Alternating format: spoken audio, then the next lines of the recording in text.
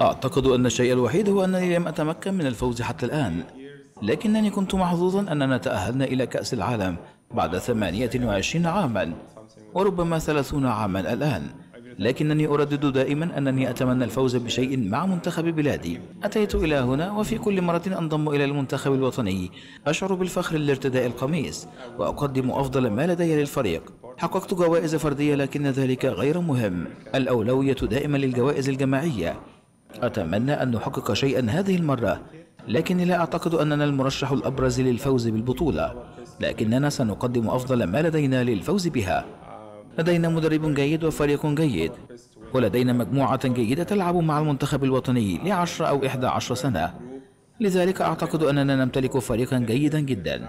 لذلك سنقدم أفضل ما لدينا وآمل أن نفوز بها. حسنا هذا هو السؤال الأول. أعتقد أنهم فريق خطر. جميع لاعبي الفرق جيدون بالفعل.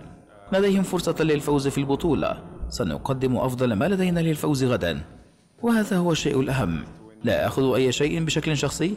ألعب كجزء من فريق كلاعب واحد فقط. في فريق يتألف من أحد عشر لاعبا. لذلك سأقوم بكل ما في وسعي وأتمنى أن نفوز غدا. للإجابة على سؤالك ليس لدي ما أقوله. أنا فقط أحترم الفريق. يمتلكون لاعبين جيدين يلعبون في كل مكان.